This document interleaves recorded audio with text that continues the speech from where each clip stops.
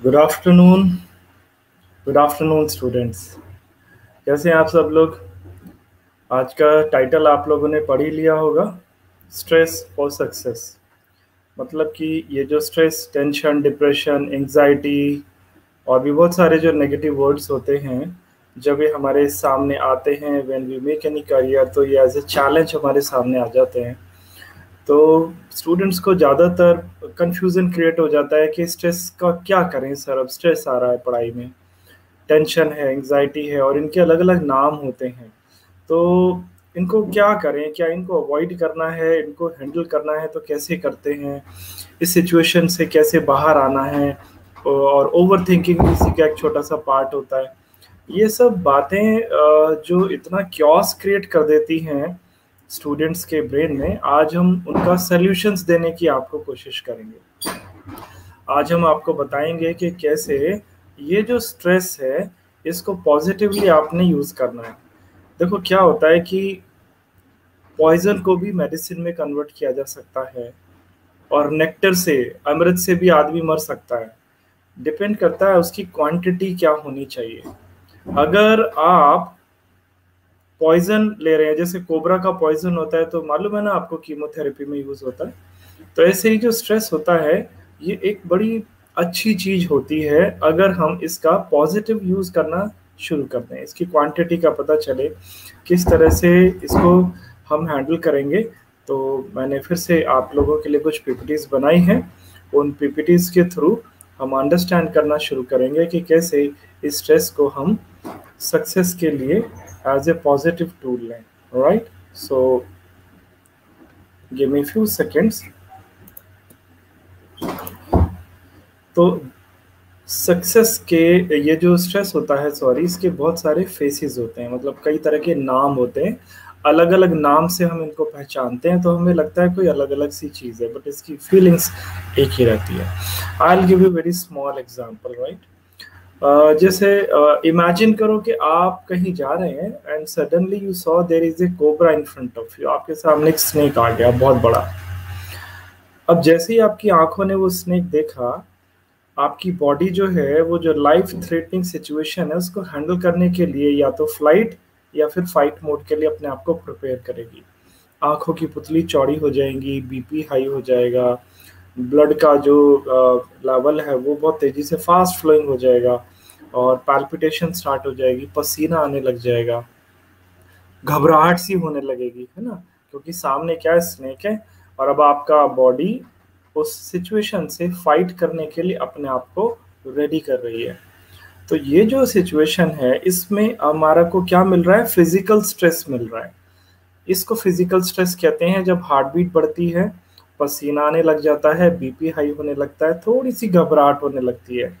फिर हमारा माइंडसेट जैसा भी है फ़्लाइट करना है या फाइट करना है, और हम उस सिचुएशन पे आते हैं। तो ये क्या है? ये एक्सटर्नल सिचुएशन है। ज़िंदगी के बाहर कुछ घट रहा है।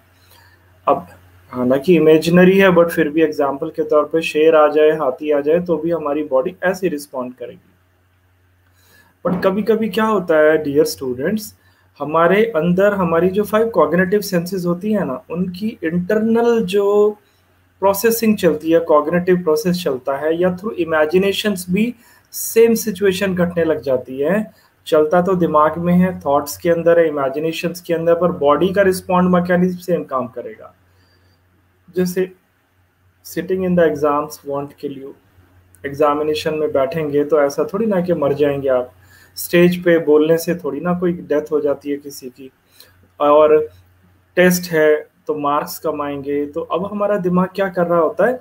एक फ्यूचर में एक ऐसी घटना को सोचने लग जाता है, जिसको 98 परसेंट घटना नहीं होता। मतलब फेक होती है वो 98 परसेंट तक। बट हम क्या करते हैं? धीरे धीरे अपने दिमाग में उस पिक्चर को बड़ी करने लग जाते हैं। तो हमारे ब्रेन में क्या एमिगडला होता है। एमिगडला नाम का एक छोटा सा ऑर्गन है, फिर वो कंट्रोल करने लग जाता है हमारे स्ट्रेस रिस्पॉन्स को तो बॉडी क्या करती है?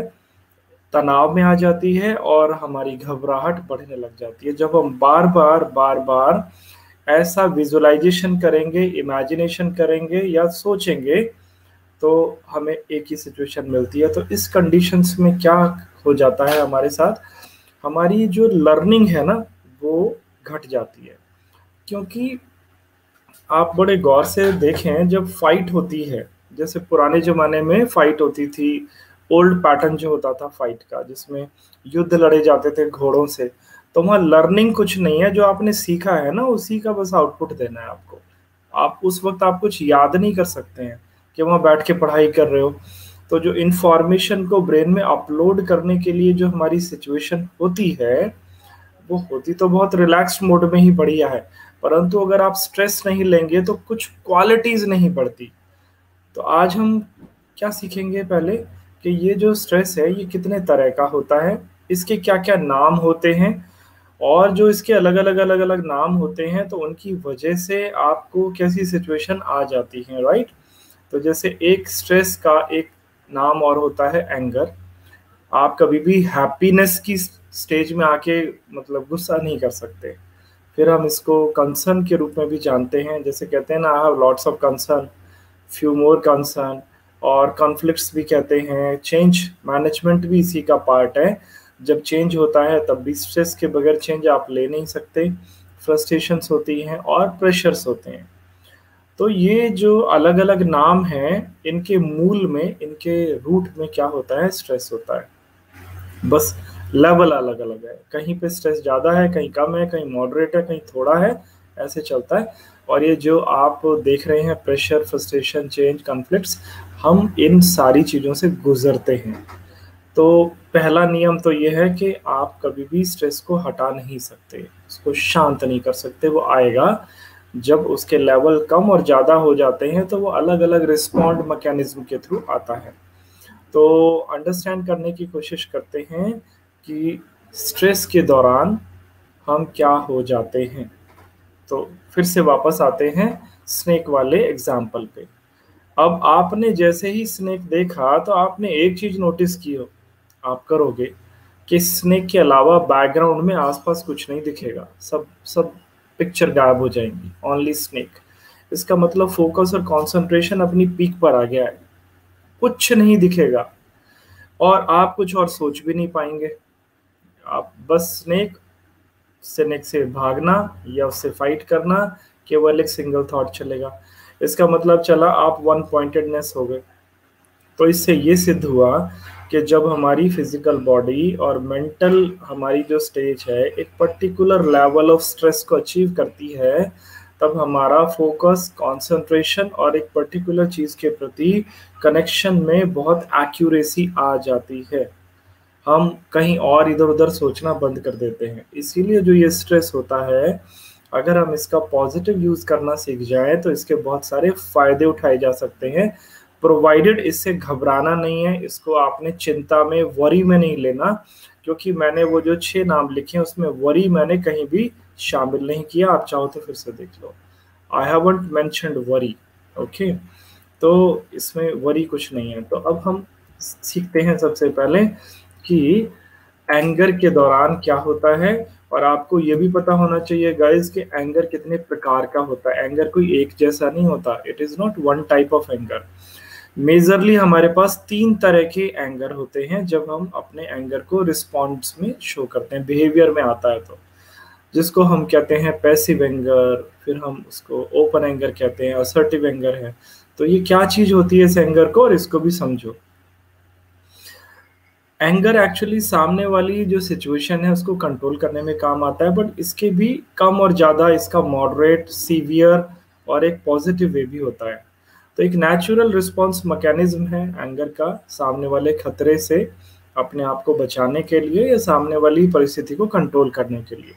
तो अगर आप एंगर को लेकर भी बहुत सारी मिसअंडरस्टैंडिंग है, अपने माता पिता से या दूसरों से सुनते हैं कि you are very very angry और शॉर्ट टेम्पर्ड तो वो आपको एक जो सुपरलेटिव डिग्री है ना एंगर की, उसके लिए मना करते हैं कि बहुत अति क्रोध नहीं करना चाहिए। क्रोध तो ज़रूरी है। अब आप फौजी हैं या पुलिस में हैं, कोई आपके रिलेटिव्स तो विदाउट एंगर कैसे चलेगा काम? तो समझो तो पैसिव एंगर क्या होता है? पैसिव एंगर है, ये मतलब एक ऐसी सिचुएशन है, जब आप अपने एंगर को क्या है एडमिट नहीं करते हो एक्सेप्ट नहीं करते हो। क्यों नहीं करते? क्योंकि आपको लड़ाई झगड़ा नहीं करना बुरा तो लग रहा है आपको। आप उसका विरोध नहीं कर पा रहे हो, जिसको हिंदी में कहते हैं खून का घूंट पीकर रह जाना।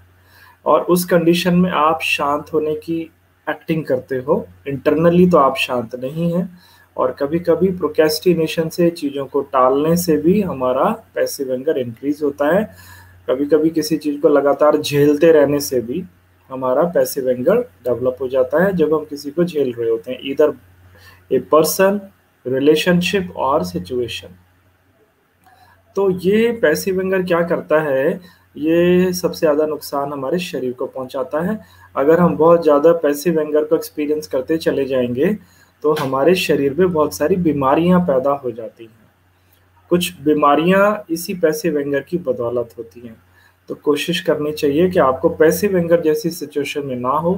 गुस्सा अगर आ रहा है तो वो सप्रेस नहीं होना चाहिए। ओपन एंगर होता है जब आपकी टेंडेंसी होती है फिजिकली, वर्बली। आप जब बिल्कुल, कहते हैं ना, ब्लास्ट हो रहे हो। एंगर का रिस्पॉन्ड एंगर से दे रहे हो। कभी कभी तो वायलेंस भी सी का पार्ट होता है, जिसमें आप खुद को या दूसरों को हर्ट कर लेते हो। इसकी इस सिचुएशन में हालाँकि सिचुएशन इज़ नॉट गुड क्योंकि इसके रिजल्ट्स जो कॉन्सिक्वेंस होते हैं, वो बहुत अच्छे नहीं होते। बट फिर भी इसमें एक चीज़ होती है कि आप रिलीज़ हो जाते हो और उसके बाद शांत हो जाते हो।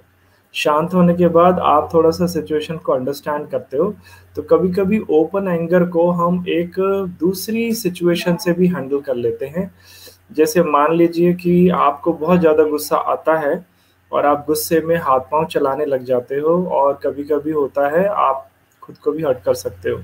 तो ऐसी कंडीशन में सोल्यूशन ये दिया जाता है कि एक सेंड बॉक्स ले लीजिए घर में, उसमें पंचिंग बैग और उसमें लगातार बॉक्सिंग कीजिए। कुछ लोग पिलो पे भी प्रैक्टिस करते हैं। तो उस कंडीशंस में भी आप अपना ओपन एंगर रिलीज़ कर देते हैं और कोई दूसरा हर्ट नहीं होता। और क्योंकि वो सेंड बैग होता है तो आपके जो हैंड्स होते हैं वो और स्ट्रांग होने लग जाते हैं।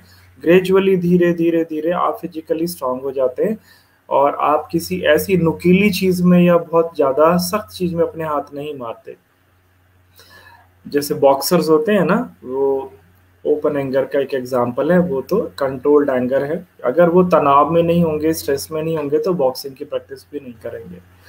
तो इसमें बुलिंग होता है ब्लैकमेलिंग एक्यूजिंग इसके बहुत सारे यूज़ होते हैं।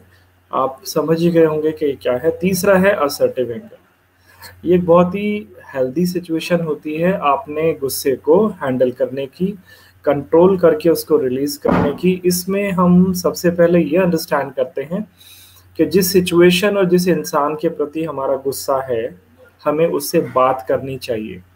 So that we can make him understand कि देखो हमें गुस्सा आ रहा है। तो इसमें क्या टॉकिंग और लिसनिंग जो मोड होता है, ये प्राइमरी होता है। आप बात करते हो और आप बात करने के बाद आप उसकी भी सुनते हो।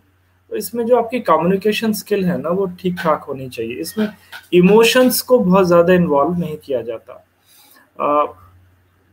इसमें आपको क्या सीखना होता है? एक्शन के बाद आपको रिएक्शन नहीं देना, आपको प्रोएक्शन करना है। मतलब क्या है? मतलब ये कि मैंने आपको कुछ कहा, आपने मेरी बात सुनी और उसके बीच में गैप है। गैप किस लिए है? अंडरस्टैंड करने के लिए। फिर कुछ सेकंड्स के बाद आप उसको समझने के बाद आप रिप्लाई करोगे। तो अगर आपके सुनने और बोलने में गैप नहीं होता, तब क्या होता है? यही असर्टिव एंगर फिर ओपन एंगर में कन्वर्ट हो जाता है और आप जवाब ही नहीं देते तो ये पैसिव में कन्वर्ट हो जाएगा।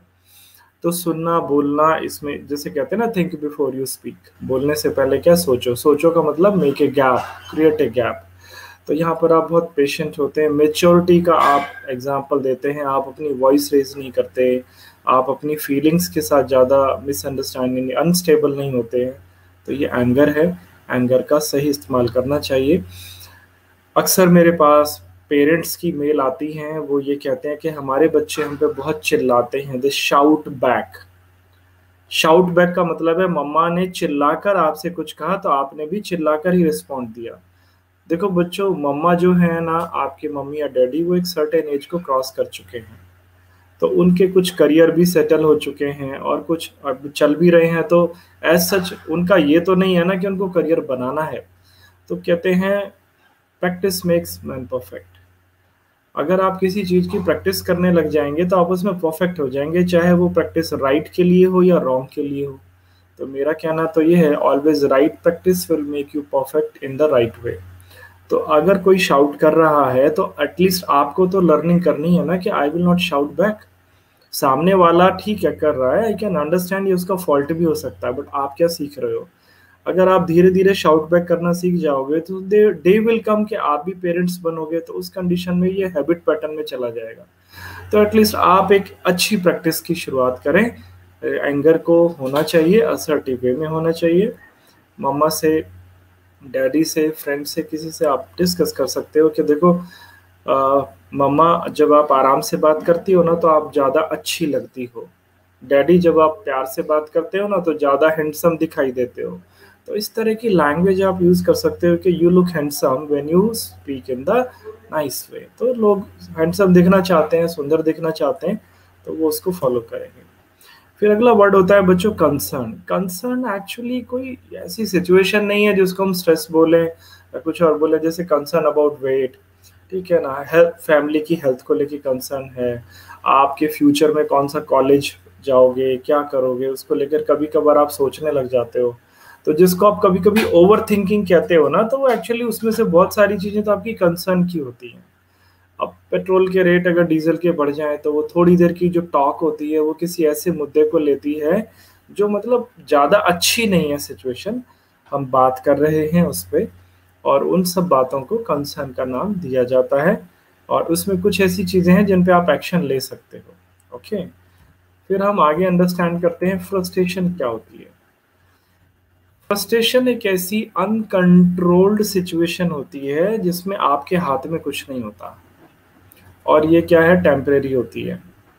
जैसे आप ट्रैफ़िक जैम में फंस गए you are going to college you are going to school you are going somewhere else and you got stuck in traffic jam so अब क्या होगा?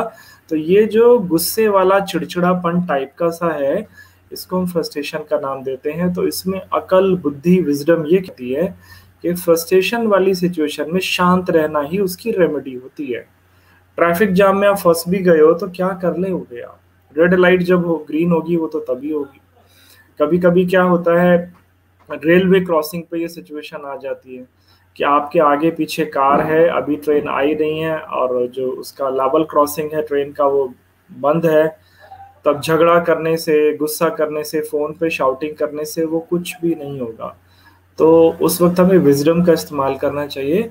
फ्रस्ट्रेशन जैसी और भी पचास सिचुएशन होती हैं। इफ़ यू कैन अंडरस्टैंड कि ये मेरे हाथ में तो नहीं है बट ये मेरे को गुस्सा दिला रहा है तो उसका कन्वर्जन कैसे करोगे? कोई बुक पढ़ लो म्यूज़िक सुन लो, कुछ अच्छी बातें कर लो, अपने टाइम का सही इस्तेमाल करो। अगर कोई आपकी कोई ऑडियो बुक है तो वो पढ़ लो, या तो ऑडियो नोट्स होते हैं बच्चों के, उनको कर सकते हैं। एक होता है कन्फ्लिक्ट कन्फ्लिक्ट क्या होता है? ये एक ऐसी डुअल सिचुएशन होती है, दो सिचुएशन जिसमें से आपको एक चुननी होती है। मतलब दो के बीच में फंसे होते हैं। तो स्ट्रेस वाली, परंतु इसको कन्फ्लिक्ट क्यों कहते हैं, ये भी मैं आपको समझाने जा रहा हूँ। अब आप जब दो में से एक पिक करते हैं तो कन्फ्लिक्ट से बाहर आ जाते हैं। अगर दोनों को एज इट इज़ रहने देंगे तो वो धीरे धीरे स्ट्रेस का कारण बनना शुरू हो जाता है। तो फ्रस्ट्रेशंस में जैसे अभी एग्जांपल दो थे फ्रस्ट्रेशन एंड कॉन्फ्लिक्ट्स के फ्रस्ट्रेशंस में देखो, मान लीजिए आप एग्ज़ाम देकर आए हैं और आपका रिज़ल्ट आ गया आज। अब ये जो आपके हाथ में रिज़ल्ट है तो अब आप कुछ नहीं कर पाएँगे। अब ये तो रिज़ल्ट आ गया। तो इस रिज़ल्ट का जो तनाव होता है, जो आपको एक्सेप्टेड ही नहीं है, ये तनाव फ्रस्ट्रेशन का माना जाता है। अब आप लगातार लगातार लगातार इसी चीज़ को बार बार बार बार सोचते रहेंगे तो आप अपना फ्यूचर और खराब कर लोगे। क्योंकि फ्रस्ट्रेशन से जो डैमेज होता है ब्रेन में अगर आप उसको पॉजिटिव नहीं लेंगे तो वो ठीक नहीं होता। तो माना कि आपके मार्क्स कम आए हैं, आपकी जो एक्सपेक्टेशन थी वो कम आई है तो आपको कितनी बार after every twenty one days three weeks के बाद टेस्ट होते हैं तो टेस्ट में जब आपके नंबर वो आते हैं जो आपको नहीं चाहिए, आपको तो ज़्यादा चाहिए थे ना, मिले कम तो अब इसमें क्या करोगे? ज़्यादातर बच्चे क्या हैं, एक अजीब सी टेंशन पाल लेते हैं या मेजर स्ट्रेस में चले जाते हैं। एक दो घंटे का कंसर्न समझ में आता है, थोड़ी देर का तनाव मैं तो कहता हूँ कि बहुत ज़्यादा भी नहीं आना चाहिए, बस 10-15 मिनट आपको समझ में आ गया, फिर क्या रियलाइजेशन पे जाओ एक्सेप्टेशन पे जाओ कि हाँ यार ठीक है, मेरे नंबर आप कम आ गए। तो now just sit in a cool way take a cup of tea और कॉफ़ी ठंडा पानी पियो। और अब पिछले तीन हफ्तों के शेड्यूल पर जाओ कि आपने पिछले तीन हफ़्ते में ऐसा क्या हो गया कि नंबर कम आए। तो आपकी जो वीकनेसेस है ना, इसको जो मैं सिखाता रहता हूँ स्वॉट एनालिसिस करना चाहिए। स्ट्रेंथ वीकनेस अपॉर्चुनिटी थ्रेट अब ये इस सिचुएशन पे काम आता है। तो फिर अगले 21 दिनों के लिए फिर अब इसको ठीक कर लो कि मैं ये रिपीट नहीं करूँगा। आइंस्टाइन ने क्या कहा अल्बर्ट आइंस्टाइन ने कि स्टूपिड वो होता है जो एक ही काम को रोज रोज करता है और उसको रिज़ल्ट नया चाहिए। कुछ आपकी हैबिट है, जो टाइम किलिंग हैबिट है। अब वो पहले पिछले 21 दिन में भी थी और नंबर कम आए तो आज भी फ्यूचर में भी कंटिन्यू रहेंगे तो फ्यूचर में कहाँ से आपको अच्छे नंबर मिलेंगे? तो इंटेलिजेंट लोग क्या करते हैं? अपनी सारी कमियों को फिर ठीक कर लेते हैं। अगर उनको नया रिज़ल्ट चाहिए तो चेंज उसको करेंगे, जो भी बताऊँगा। ट्रैफ़िक जाम है। टेम्परेचर है कई बार, आपको फ्रस्ट्रेशन दे देता है। गर्मी लग रही है बहुत ज़्यादा। अब गर्मी लग रही है तो क्या करोगे? अगर सिचुएशन हाथ में है फ़ैन चला लो एसी चला लो, नहीं है तो एक्सेप्ट करो। है ना? तो नॉन हैंडलिंग जो सिचुएशंस होती हैं, वो इसमें आती हैं। तो अब इसमें जो तीन थ्योरी में आपको कहने की कोशिश कर रहा था, वो क्या है, इसको समझो। एक जो कन्फ्लिक्ट की थ्योरी होती है ना बच्चों, उसको अप्रोच वर्सेस अप्रोच साइकोलॉजी में कहते हैं। तो ये सब आप याद ना भी रखो तो कोई मतलब नहीं है बट पता होना चाहिए कि कई बार कन्फ्लिक्ट पैदा होता है दिमाग में जब दो पॉजिटिव चीज़ें हमारे हाथ में हो। राइट में भी पॉजिटिव है और लेफ़्ट में भी पॉजिटिव है। पर चुनना तो एक ही पड़ेगा ना कन्फ्लिक्ट में। जैसे आपने दो जगह अप्लाई किया, दो कॉलेज में, और दो जगह से ही आपका कॉल लेटर आ गया अब आपको जाना तो एक जगह पड़ेगा। तो जब दो पॉजिटिव सिचुएशन कभी ज़िंदगी में आ जाएँ और एक चुननी पड़े तो ये देखते हैं, ज़्यादा फ़ायदे वाली सिचुएशन कौन सी है? ज़्यादा लाभ कहाँ है? तो उसको आप चुन लोगे तो आप बाहर आ जाओगे। नहीं चुन पाओगे तो यही चीज़ आपको स्ट्रेस पैदा कर देगा। दूसरा होता है अवॉइडेंस वर्सेस अप्रोच इसमें क्या होता है कि एक तो पॉजिटिव है बट दूसरी नेगेटिव है। जैसे डैडी का ट्रांसफ़र हो गया और साथ में प्रमोशन भी है। अब प्रमोशन और ट्रांसफ़र अब promotion is a good thing salary बढ़ के मिलेगी अच्छा होगा।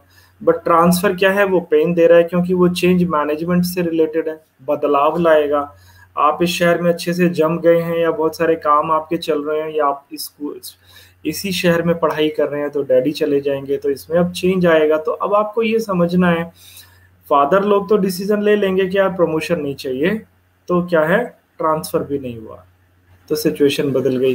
ट्रांसफ़र लेंगे तो ये भी मिलेगा बट पॉजिटिव के साथ नेगेटिव तीसरा अवॉइडेंस वर्सेस अवॉइडेंस इसमें क्या है? दोनों हाथों में ही नेगेटिव सिचुएशन होती है।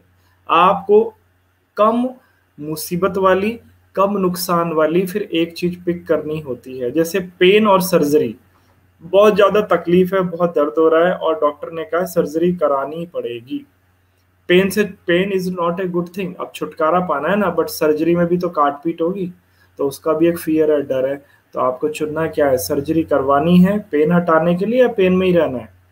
तो यहाँ पर कॉन्फ्लिक्ट्स में कभी कभी लाइफ ऐसा देती है। तो मैं आपको क्यों बता रहा हूँ? क्योंकि अभी आप टेंथ इलेवन ट्वेल्थ के बच्चे हैं फ्यूचर में लाइफ में, ज़िंदगी में बहुत सारी ऐसी घटनाएँ घटेंगी, जब आपको ये पता चलेगा कि यार ये फ्रस्ट्रेशन थी या कॉन्फ्लिक्ट था या क्या था ये। That's I am telling you these things change अब चेंज क्या होता है? चेंज हमेशा आप अगर उसको अच्छे से अंडरस्टैंड करेंगे तो ये बहुत बदलाव जो होता है, आपकी ज़िंदगी में बहुत खूबसूरत परिवर्तन लाकर आपकी लाइफ को बेटर कर सकता है। जैसे मैं आपको एक लाइव एग्जांपल चेंज का भी देता हूँ। पहले आप एक और समझ लें प्रेशर को। प्रेशर में भी तनाव आता है चेंज में भी तनाव आता है। प्रेशर तब होता है जब आप मल्टीपल टास्किंग करते हैं। तो let's understand the stress change because of stress जैसे किसी की परिवार में डेथ हो जाए, या कोई ऐसा इंसान जो, जिस पर आप बहुत डिपेंड थे, वो कोई भी हो सकता है। ज़िंदगी के किसी भी हिस्से में हो सकता है। उसका टाइम पूरा हुआ, ईश्वर ने उसको अपने पास बुला लिया, अब आपकी ज़िंदगी में एक चेंज आएगा। उसके बगैर जीना होगा, उसके बगैर रहना होगा। अब डेथ कोई ज़रूरी नहीं है, डेथ हो। छोड़ के कोई चला जाता है, तब भी ऐसा होता है। जैसे इस एज में क्या है डेथ वेथ तो कुछ नहीं, ज़्यादातर बच्चों के ब्रेकअप हो जाते हैं। तो ब्रेकअप जब होता है तो वो भी इक्वल टू डेथ जैसी फीलिंग हार्ट को देता है। सब कुछ खाना पीना छूट जाएगा, एक ही जगह थॉट रहेगा और आँसू निकलते रहेंगे, मन ही नहीं लगेगा, बहुत बुरी हालत हो जाती है। तो अब क्या होता है, इसमें साइकोलॉजी क्या कहती है, इस सिचुएशंस के अंदर हमारे ब्रेन को एक व्यक्ति की, उस इंसान की लत लग जाती है। उसके बगैर हम अपना पूरा दिन, अपना कुछ वक्त जो है अधूरा मानते हैं। तो ये सिचुएशन क्या है? कुछ दिनों की ही होती है। ये परमानेंट कभी भी नहीं रहती है। चाहे वो ब्रेकअप हो या डेथ हो, ये मुश्किल से मुश्किल महीने भर का रहता है। बॉयज़ ब्रेन जो होते हैं मेल ब्रेन और फीमेल ब्रेन में इसका अलग अलग चेंज के दौरान रिस्पॉन्ड मैकेनिज्म दिखाई देता है। जैसे जो फीमेल होती हैं, उनका बहुत डेप्थ होती है पेन की। पेन की गहराई ज़्यादा होती है बट उसकी ड्यूरेशन थोड़ी होती है। वो थोड़े टाइम के बाद जल्दी ठीक हो जाती है।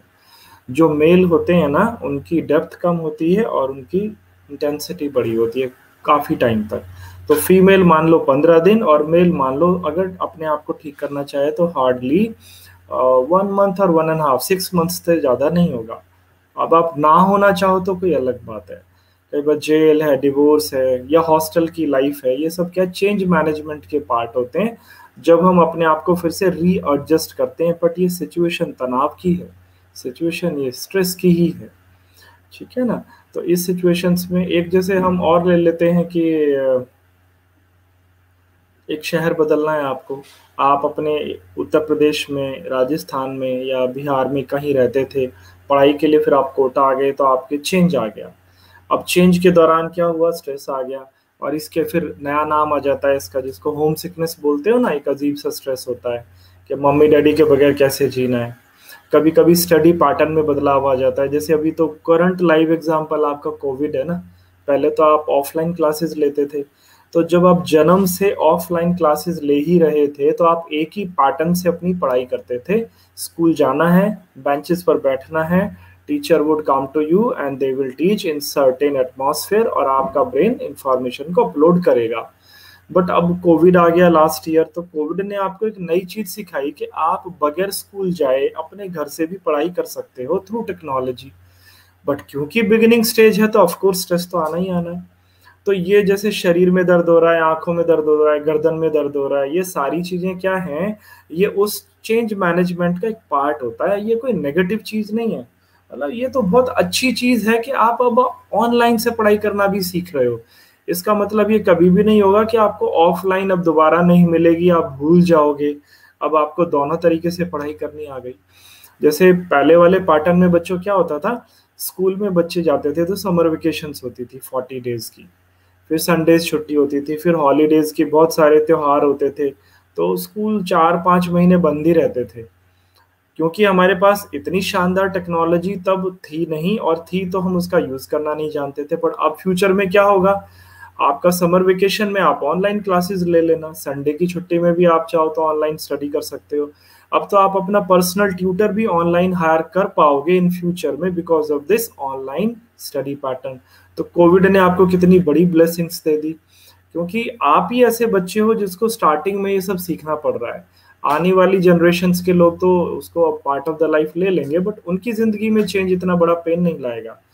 तो कंफर्ट जोन को छोड़कर बदलाव करना बेटरमेंट की तरफ़ जाना चेंज होता है बट चेंज में स्ट्रेस आता ही है और ये एक्सेप्ट करना पड़ेगा, इससे बचने का कोई तरीका नहीं होता।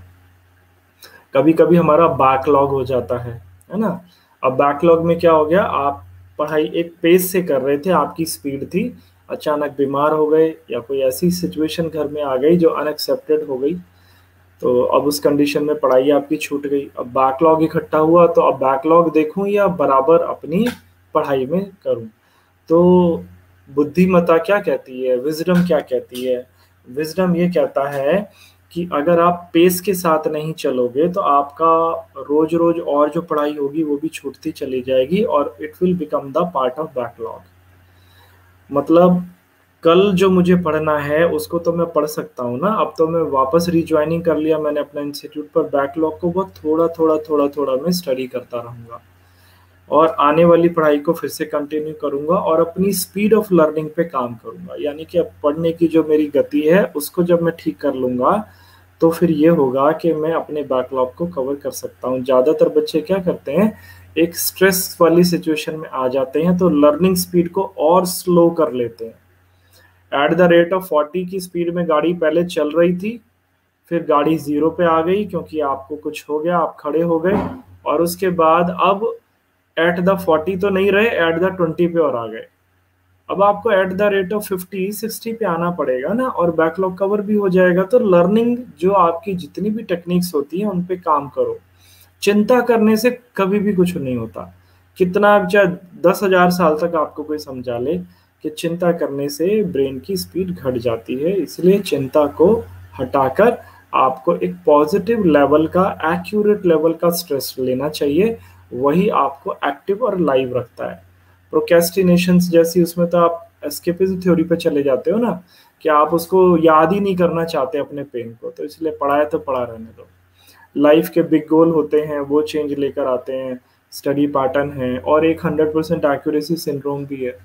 ये भी एक तनाव पैदा करता है। इसमें आप हर चीज़ को परफेक्ट करना चाहते हो तो परफेक्शन तो बार बार रिपीटेशन भी मांगती है।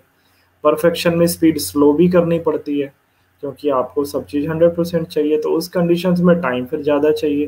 टाइम अभी है नहीं तो फिर जितना अभी होता है उतना करो गेट हैप्पीनेस उसको अगली बार फिर अच्छा से कर लो। ज़्यादातर लोगों के स्ट्रेस के क्या बच्चों रिएक्शंस होते होंगे? स्ट्रेस आ रहा है, तनाव आ रहा है बट जब लेवल बढ़ जाए तो उसका रिएक्शन कैसे आता है? एंगर के दो एंगर की फॉर्म में आ जाएगा। तो एंगर की फॉर्म में आ रहा है तो मैंने बता दिया कि आपको असर्टिव एंगर में जाना चाहिए। एक ब्लैक स्वैन थ्योरी होती है। ब्लैक स्वैन थ्योरी क्या होती है? ये शॉर्ट में बता देता हूँ। कभी ज़िंदगी में अनएक्सपेक्टेड अगर अचानक रातों रात मुसीबत आ जाए, जिसमें आपका कोई रोल नहीं था तो वो जितने दिन का पेन और परेशानी होती है, उसको ब्लैक स्वैन थ्योरी कहा जाता है। जैसे आप पढ़ाई कर रहे हैं और अचानक ईश्वर ना करे, घर के सबसे इम्पोर्टेंट सदस्य इस दुनिया से चले जाएँ। तो अब आप ब्लैक स्वैन थ्योरी के हिसाब से एक भारी मुसीबत में आ गए हैं बट साइकोलॉजी सेज कि ये मुसीबत एक तो ज़िंदगी में एक या ज़्यादा से ज़्यादा, ऐसा दो बार होता नहीं है आती तो एक ही बार है, जब आप कोई बहुत इंपॉर्टेंट काम कर रहे हो और बहुत बड़ा हर्डल आ जाए। समझ गए? तो आप इंपॉर्टेंट काम कर रहे हैं और उसी वक्त बहुत बड़ा हर्डल आ जाए। दो सिचुएशन एक साथ बहुत रेयरली घटती हैं। आप कोई बड़ा काम नहीं कर रहे, मुसीबत आ जाए, आप हैंडल कर लोगे। तो अब ब्लैक स्वैन थ्योरी ये कहती है कि जब भी ज़िंदगी में कोई बड़ा काम कर रहे हो और लक्ष्य इतना बड़ा हो जो सीधा सीधा आपकी ज़िंदगी बदलेगा और मुसीबत भी उतनी ही बड़ी आ जाए तो मुसीबत पे ध्यान ना देकर अपने लक्ष्य पर अटल और अडिग रहते हैं और थोड़ा भी डामाडोल आप होते हो तो उसके बाद वापस आ जाओ। जैसे एक बार सचिन तेंदुलकर का हमने सुना है कि वो पता नहीं कौन सी वो खेल रहे थे, बहुत बड़ा मैच और उनके डैडी का डैडी एक्सपायर हो गए थे। तो अगले दिन ही बस उन्होंने बस छुट्टी मारी, आधे दिन की और वापस अपनी गेम पर आ गए थे। Because I do not play cricket तो बच्चे जो क्रिकेट खेलते हैं, उनको ये सब पता होगा। तो वो ब्लैक स्वैन थ्योरी थी। पापा की डेथ होना और साथ में अपने जो आपका कर्तव्य है, उस पर भी डटे रहना। तो मुसीबतें आती हैं, चली जाती हैं, परंतु वो ज़िंदगी में आपका घर बनाकर नहीं बैठती। हाँ आप अगर उनको छोड़ोगे ही नहीं, पकड़ के बैठ जाओगे तो क्या होगा फिर? तो एंग्जाइटी है सोशल विड्रॉल है सैडनेस है कैथारसिस है एग्रेशन से ये सब क्या होते हैं, हमारे स्ट्रेस के एक रिस्पॉन्ड मैकेनिज्म होते हैं, यानी इनके थ्रू हमें स्ट्रेस हम अपना शो ऑफ़ करते हैं। और एक होता है फ़्लाइट फाइट और फ्राइट मैकेनिज्म फ्राइट अभी कुछ सालों से दिखने लगा है, पहले तो नहीं होता था। जब कोई मुसीबत आ जाए तो या तो हमने उससे बचना है और या फिर उसका मुकाबला करना है। और कुछ लोग क्या करते हैं, ना तो बचते हैं, मुकाबला करते हैं, खड़े हो जाते हैं, स्थिर और सोचने लग जाते हैं। ये आजकल के बच्चों को बहुत ज़्यादा मतलब सिचुएशन में देखता रहता हूँ कि सर ओवर थिंकिंग हो रही है ओवर थिंकिंग हो रही है। Sir I am in stress sir I am in depression sir, मैं क्या करूँ, मैं क्या करूँ? एक तरफ़ तो पूछ रहा है, मैं क्या करूँ? एक तरफ़ से वो ओवर थिंकिंग में है। तो उसको पता है ना कि ओवर थिंकिंग क्यों होती है? जब आप फ़िज़िकल एक्शन नहीं लेते हैं मेंटल आपका प्रोसेस बहुत चल रहा होता है तो ब्रेन के अंदर क्या हो जाता है? गड़बड़ हो जाती है। और ओवर थिंकिंग नाम का वर्ड मैंने अपने पिछले सेशन में बताया था ना कि this is called speed thinking ज़रूरत से ज़्यादा, ज़रूरत से तेज गति से सोचना लोगों को लगता है कि ये ओवर थिंकिंग है बट आपके ब्रेन को बहुत सारा काम चाहिए होता है करने के लिए। तो जो आप पढ़ाई में जितनी एनर्जी खर्च कर रहे हो, उतनी में ब्रेन संतुष्ट नहीं होता तो वो बाकी टाइम कुछ और सोचने लग जाता है। डे ड्रीमिंग अगर होती है तो उसका सेट टाइम बनाइए। Daydreaming can not be stop if you have but आप एक पर्टिकुलर टाइम पे डे ड्रीमिंग करेंगे तो वो धीरे धीरे घटती चली जाएगी। जैसे आप सारे दिन खाना नहीं खाते बट आप एक वक्त पे खाते हो तो फिक्स टाइम कर लो उसका भी, और डे ड्रीमिंग कर लो। पर पंद्रह मिनट, बीस मिनट की तो एक तो आपकी सेटिस्फेक्शन लेवल ठीक रहेगा, और उसमें भी बहुत सारे आइडियाज़ आपको मिलते रहते हैं। तो एक ये छोटा सा मिहाइल शिक्जन मिहाइल जो एक बहुत बड़े साइकोलॉजिस्ट थे, उन्होंने ये चार्ट दिया था कि जब भी हम कोई सी चीज़ को सीखते हैं तो सीखने के दौरान जो हमें तरह तरह की जो फीलिंग्स आती है हाई लेवल ऑफ़ एग्जाइटी से लेकर फ्लो तक तो हम उसमें हम कैसे उसको अंडरस्टैंड करेंगे? तो इसको आप कैसे समझोगे बच्चों? जब हम कोई चीज़ सीखते हैं whatever we are learning suppose we are learning swimming, cycling, कुछ भी, जो, चाहे वो गेम्स हो या पढ़ाई हो या फिजिक्स, केमिस्ट्री, बायो, क्यों ना हो। तो जब हमारा ब्रेन उस पर्टिकुलर स्किल में ज़ीरो होता है तो सीखने के दौरान अभी आज ही शुरू किया है तो अक्सर अपैथी डेवलप हो सकती है। ठीक है? अगर उसमें इंटरेस्ट अभी नहीं है तो। इंटरेस्ट भी नहीं है, परंतु वो ज़रूरी चीज़ है तो अपैथी आ जाएगी। और ये अपैथी में आपका ब्रेन आपको बोलेगा I am not interested I am not interested sorry मैं ये नहीं करूँगा, मुझसे नहीं होगा, ये बहुत बड़ा है। ऐसी बातें आपको आने लग जाएँगी। जैसे करियर बनाना है बट करियर को बनाने के लिए जो रिक्वायर्ड आपके सब्जेक्ट है ना, उस, उन, वो अभी आपने ढंग से नहीं पढ़े तो अभी आप बिगिनिंग स्टेज पर हैं। तो ब्रेन अपैथी शो करेगा। तो धीरे धीरे धीरे धीरे आपने क्या किया, उस अपैथी की ही कंडीशन में पढ़ाई कंटिन्यू रखी बट आपने अपने गैप को थोड़ा कर लिया। जैसे जब पढ़ने में मन नहीं लगता तो किसी ने नहीं कहा कि लगातार आप दो से तीन घंटे बैठ के पढ़ो, आप फोर्टी फाइव मिनट्स पढ़ो, पाँच दस मिनट का ब्रेक ले लो फ़िज़िकल कुछ करो, फिर से फोर्टी फाइव मिनट्स करो। तो रिड्यूस योर ड्यूरेशन अगर मन नहीं लगता तो। तो लेट्स कंटिन्यू अपैथी। अब धीरे धीरे क्या होगा, आप प्रैक्टिस कर करके आपकी स्किल डेवलप होती जाएगी, आप उस चीज़ को सीखते चले जाओगे। तो जब हमारी स्किल डेवलपमेंट होता है ट्वेंटी ट्वेंटी फाइव परसेंट के आसपास तो फिर अपैथी घटने लगती है और फिर हम बोर्डम की स्टेज में आ जाते हैं, फिर हम बोर होने लगते हैं। मतलब अब मन वैसा नहीं कर रहा। पहले की तरह एकदम स्ट्रॉन्ग रिप्लाई तो मना तो नहीं कर रहा बट अब बोर हो रहे हैं। तो you can better understand what is boredom boredom एक अच्छी चीज़ होती है, अगर आप इसको समझ जाए तो। नहीं समझेंगे तो ये बहुत बुरी बुरी लगेगी। बोर्डम सबसे पहले आपको ये सिग्नल देता है आपका ब्रेन कि आपकी स्किल डेवलप हो रही है। Now you got your skill around thirty forty percent forty fifty percent पे तो ये और बोर्डम हमेशा ऐसे माउंटेन की तरह चलता है। ये फ्लैट नहीं चलेगा। बोर्डम बढ़ता जाएगा बढ़ता जाएगा पीक पे पहुँच जाएगा और फिर डाउनफॉल आता है बोर्डम का बोर्डम का। तो इसमें फिर घटेगा। तो घटेगा कब? जब आपकी स्किल कहाँ से अब तक पहुँच जाएगी? फोर्टी फिफ्टी परसेंट फिर बॉर्डम फिनिश हो जाएगा। अब बॉर्डम फिनिश हो गया। अब स्किल आ गई सिक्सटी तो क्या आएगा रिलैक्सेशन अब आपको बिल्कुल भी बोरियत महसूस नहीं हो रही है। आप तीन चार घंटे भी पढ़ सकते हैं और इसके बाद आप रिलैक्स होकर वो पढ़ाई करेंगे। परंतु कभी कभी कुछ बच्चे क्या करते हैं, अपनी लर्निंग को कंटिन्यू नहीं रखते। उस पर टाइम के स्केल पे तो वो ट्रेवल करेगा ना बच्चा। मतलब टाइम तो नहीं रुकता। टाइम तो आपका चलता ही चला जाएगा। मई के बाद आपका जून, फिर जुलाई, फिर अगस्त, सितंबर, ये तो आता ही जाएगा। अभी सौ दिन पहले अगर एग्ज़ाम्स में कुछ सौ दिन बचे एग्ज़ाम में तो चार दिन बाद कितने दिन हो जाएँगे? नाइन्टी सिक्स बच जाएँगे। तो टाइम हमारा घटता रहेगा because we are reaching towards our goal and target तो जो बच्चे अपनी स्किल को डेवलप नहीं करते टाइम को किल करते रहते हैं केवल सोचने में तो फिर वो बोर्डम की तरफ़ नहीं जाते, फिर वो अपैथी से ऊपर वरी की तरफ़ चले जाते हैं। पहले तो लो स्ट्रेस आएगा और जैसे जैसे जैसे जैसे एग्ज़ाम पास आते चले जाएँगे, वो हाई स्ट्रेस में कन्वर्ट होता जाएगा। क्यों क्यों हो रहा है? क्योंकि टाइम के स्केल पर आप ट्रेवल कर रहे हो, पर आप लर्निंग के स्केल पर डेवलप नहीं कर रहे, वहाँ रुके हुए हो। तो ये होता है मेन कारण आपकी हाई एंजाइटी का। तो अब उसमें या तो आपके पास एक तरीका है, आप अपना साल बढ़ा लो टाइम की ड्यूरेशन बढ़ा लो। आप बोलो कि भाई मैं इस साल नहीं कर पाऊँगा क्योंकि because of so many reason I have तो उसमें स्ट्रेस में आने की क्या ज़रूरत है? एक साल आगे बढ़ा लो आप 22 में दे देना एग्ज़ाम 23 में दे देना तो ये कोई ऐसा तो नहीं है ना आपकी लाइफ एंड हो जाएगी। अभी तो आपकी ज़िंदगी की शुरुआत है, इसमें घबराने से काम नहीं चलता। टाइम को थोड़ा आगे कर लो तो आप आराम से अपने करियर को अचीव कर सकते हैं बट करियर से कॉम्प्रोमाइज मत करो। यहाँ मतलब डॉक्टर बनना है तो बनना है। इंजीनियर बनना है तो बनना है, चाहे सेकेंड अटेम्प्ट में बनो या फोर्थ में बनो। ये आप ठान लोगे ना बच्चों तो लगता नहीं है कि कोई चीज़ फिर रुकावट पैदा करेगी। मतलब भगवान क्यों मना करेगा आपको डॉक्टर बनने से? खुद सोचो ना। ऐसा कोई भगवान की दुश्मनी थोड़ी ना है हमारे साथ। ना ही हमारी किस्मत की हमसे कोई ऐसी प्रॉब्लम है। बस हमारी अपनी आदतों का ही थोड़ा सा ठीक करने का तरीका है। अब हम रिलैक्सेशन के बाद कहाँ जाते हैं? फिर कंट्रोल और फोकस पे आ जाते हैं। फोकस एंड कॉन्सेंट्रेशन पे। ये तब हो ज़्यादा हो जाता है जब हमारी लर्निंग स्किल सेवेंटी से ऊपर चली जाए क्रॉस करती हुई। तो अपने आप ही हो जाता है।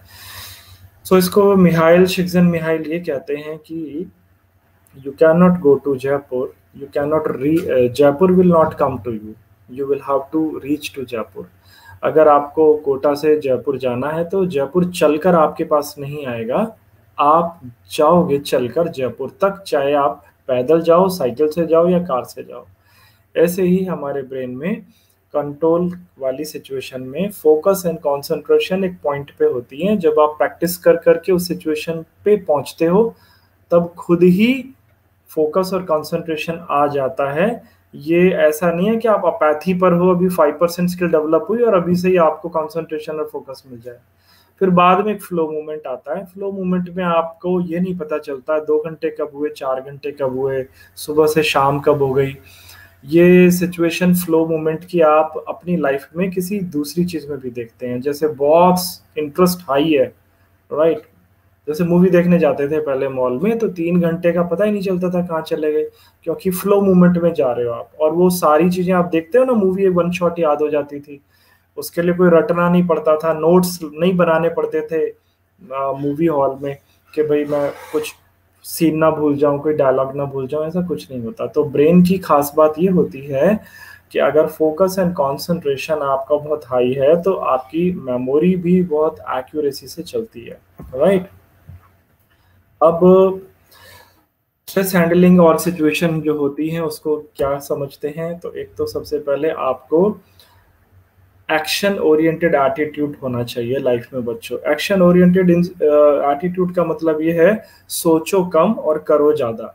फिजिक्स पढ़नी है तो पढ़ो, बट बैठे बैठे मत सोचो कि बैकलॉग हो गया, बैक, अरे उतना सोचेगा तो इतनी देर में तो एक आधा चैप्टर भी कर लेगा। कुछ भी है एक्शन ओरिएंटेड। दूसरा तरीका होता है कि माना कि आपको हंड्रेड आउट ऑफ़ हंड्रेड चाहिए। जैसे नीट में आपको सेवन ट्वेंटी ही चाहिए। It's okay understood but actually में अपने आप से लो एक्सपेक्टेशन रखो और हाई एक्शन लो। काम तो करो 720 के। दिमाग में बता दो कि भैया मेरे को तो 650 मिल जाए तो I will be happy internally तो लो जब हम मेंटली हाई एक्सपेक्टेशन कर देते हैं और एक्शन में हम लो हो जाते हैं तो रिज़ल्ट में स्ट्रेस मिलता है। इसका उल्टा करने से नंबर भी अच्छे आएँगे और स्ट्रेस नहीं होगा तो लर्निंग स्पीड भी बढ़ेगी। पर्सनल ग्रोथ पे हमेशा ध्यान दो। फ़िज़िकल एक्सरसाइज कंटिन्यू करते रहो।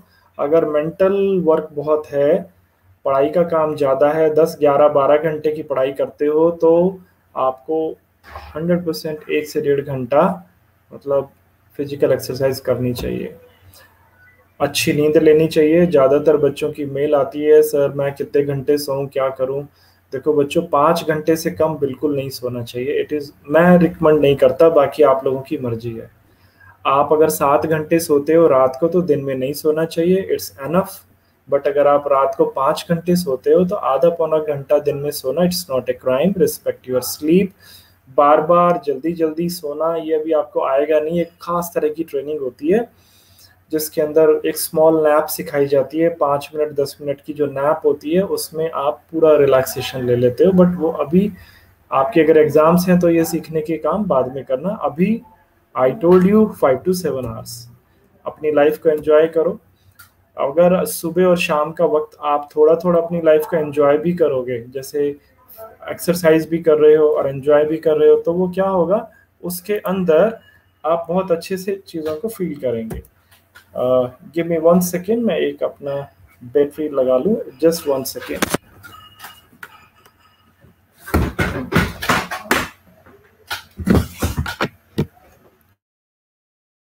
कम तो अपने परिवार के साथ आपको समय बिताना चाहिए, ज़रूर कुछ बच्चे अपनी पढ़ाई के चक्कर में अपने परिवार के क्वालिटी टाइम नहीं देते। क्वालिटी टाइम क्या होता है लाइफ को एंजॉय करने के लिए? क्वालिटी टाइम का मतलब होता है बच्चों दो लोग मिलकर एक ही काम कर रहे हैं और आपस में बातें कर रहे हैं। जैसे सपोज़ मम्मा रोटी बेल रही हैं और आप अपनी तवे पे लगा रहे हो, रोटी को चुपड़ रहे हो, फिर खा, उसको प्रिपेयर कर रहे हो तो आप मम्मा के साथ क्वालिटी टाइम स्पेंड कर रहे हो। आप पढ़ाई कर रहे हो, मम्मा काम कर रही हैं तो भले ही चाहे आप एक ही घर में रहते हो it is not spending quality time तो इसमें एन्जॉयमेंट भी नहीं होता। तो किसी के साथ भी आप टाइम स्पेंड करके अपनी लाइफ को एंजॉय कर सकते हैं, ठीक है? कन्वर्सेशन ज़रूर करनी चाहिए। कन्वर्सेशन में क्या होता है, आप सवाल जवाब नहीं करते। इट इज़ नॉट कन्वर्सेशन वो इंटेरोगेशन होती है। जैसे बचपन में आप देखते थे ना, छोटे बच्चे होते हैं तो अब शाम को डैडी आए, और भाई तेरी पढ़ाई कैसी है? आज तेरा स्कूल में क्या हुआ? Daddy is asking question you are replying it is call interrogation जिसमें हम एक जानकारी इकट्ठी करते हैं। कन्वर्सेशन में हम बात करते हैं एक दूसरे से। तो आपको ये कन्वर्सेशन वाला मोड सीखना चाहिए। बच्चों को तो ये बहुत अच्छे से आता है। इनफैक्ट इसमें बच्चों की बजाय बड़ों को सीखना चाहिए कि how to do this conversation they must learn from children exercise I told you anti stress food खाना चाहिए। तो एंटी स्ट्रेस फ़ूड का मतलब ये होता है, जिस मौसम में जितने फल और सब्ज़ियाँ आते हैं, उनको एंजॉय करने से आपको एंटी स्ट्रेस फ़ूड मिलता है। सर्दियों में तरबूज क्यों खाएँगे आप? तो गर्मियों में खाने का है। तो जिस मौसम में जो चीज़ है वही। ठीक है? तो मेडिटेशन करनी चाहिए। अब बहुत जल्दी बच्चों की डिमांड भी है कि मुझे माइंडफुलनेस के ऊपर एक सेशन बनाना है। Very soon you will get how to do mindfulness ये बहुत इंपॉर्टेंट होता है और इसको बहुत लोग प्रैक्टिस भी करते हैं। इससे सबसे बढ़िया बात आपकी ज़िंदगी में होगी। अगर आप माइंडफुलनेस मेडिटेशन की प्रैक्टिस करते हैं यूट्यूब पर इसके ट्यूटोरियल भी होते हैं। बहुत सारे लोग इसको सिखाते भी हैं। जब तक मैं सेशन बनाऊँ इसका तब तक आप चाहो तो खुद भी सीख सकते हैं राइट सो so, आज के लिए यही था। स्ट्रेस को पॉजिटिव लो। ये इससे बचने की कोई ज़रूरत नहीं है। बस अगर लेवल हाई है तो थोड़ा कम कर दो। एक रिक्वायर्ड अमाउंट ऑफ़ जो स्ट्रेस है बच्चों वो आपकी ज़िंदगी को पॉजिटिव करेगा। चिंता नहीं करनी चाहिए। चिंता से कुछ नहीं होता। बस आपका जो तनाव थोड़ा ज, मतलब है अगर वन और टू और थ्री के स्केल पर जैसे वन टू टेन के स्केल पर थ्री तक अगर आपका स्ट्रेस है तो ये आपकी पढ़ाई को बेहतर कर देता है एक्यूरेट कर देता है। तो आज के लिए आ, सेशन में इतना ही और अभी हम लोग क्या करते हैं कुछ एक दो सवाल अगर कुछ इम्पोर्टेंट मुझे लगा कुछ है कमेंट्स में तो एक दो क्वेश्चन मैं ले लेता हूँ। तो एनीथिंग एल्स हाँ आपको जो से मैं हमेशा बताता रहता हूँ कि आप मुझे मेल करें। I am only one mail away from you और मेल कुछ बच्चे जब करते हैं ना, बहुत सारी पंद्रह बीस प्रॉब्लम्स लिख देते हैं। तो मैं तो आंसर दे दूँगा बट आप उस, उसको एज ए स्टोरी की तरह लोगे। तो क्या करना चाहिए बच्चों आपको? दो या तीन प्रॉब्लम्स लो, उनको सॉल्व करो, फिर उसके बाद फिर से दो तीन प्रॉब्लम लो, फिर से सॉल्व करो, ठीक है? क्योंकि आप लोगों की ज़िंदगी में कोई बहुत सारी बड़ी बड़ी प्रॉब्लम्स कभी नहीं होती, आप उनको बना लेते हो दिमाग में। पढ़ाई को कैसे करना है, ये बस तरीका आपको आ जाए तो इससे बड़ा और कुछ भी नहीं होता। अपनी लाइफ को बैलेंस करना proper food proper sleep proper study तीन चीज़ें हैं। तो फ़िज़िकल अपनी एक्सरसाइज पे ध्यान दो रिलेशनशिप को अपना ठीक करके रखो परिवार से तो ग्रेजुअली आप बेटरमेंट की तरफ़ जाओगे। सब्जेक्ट से रिलेटेड जो प्रॉब्लम होती हैं फिजिक्स केमिस्ट्री या मैथ्स है या बायो है, वो मैं सॉल्व नहीं कर सकता because I am student of psychology तो मैं तो आपके मन की समस्याएँ ठीक कर देता हूँ। उनसे रिलेटेड आपके एलन में हमारे कितने क्वालिफाइड फैकल्टीज़ हैं, आप उनसे कांटेक्ट कर सकते हैं। तो आज के लिए इतना ही। Thank you very much see you next week फिर से अगले फ्राइडे को मिलेंगे। So God bless you all the best thank you very much